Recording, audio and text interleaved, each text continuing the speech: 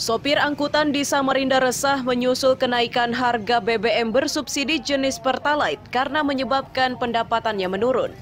Itu terjadi karena uang yang didapatkan sebagian besar digunakan untuk membeli BBM.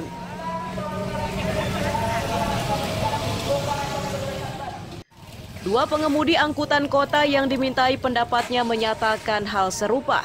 Mereka tidak mempermasalahkan kenaikan tersebut. Mereka hanya meminta agar kenaikan ini diimbangi dengan penyesuaian tarif penumpang. Para sopir masih tetap menggunakan tarif lama karena tidak berani menaikkan tarif secara sepihak.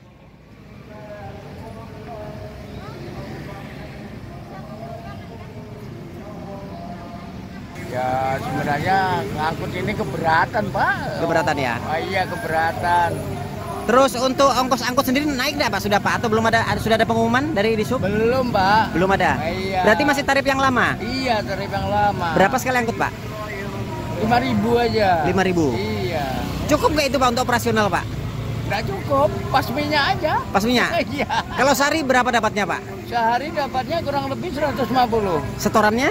Setorannya 50. Tapi kan minyaknya 100 lebih. Oh malah nombok dong pak? Hah? Kadang-kadang nombok dong berarti? Iya.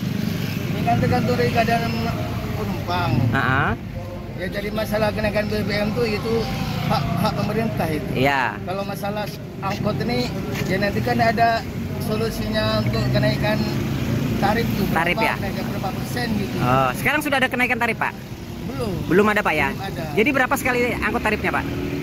5000 Lima ribu pak ya? Sebelum ada anu dari dari diskut ini nggak berani ngambil ongkos lebih. Oh tetap lima ribu jadi pak ya? 5000 Nah sekarang kan sudah dua hari nih pak, bapak pasti ngisinya kan sudah harga baru ya?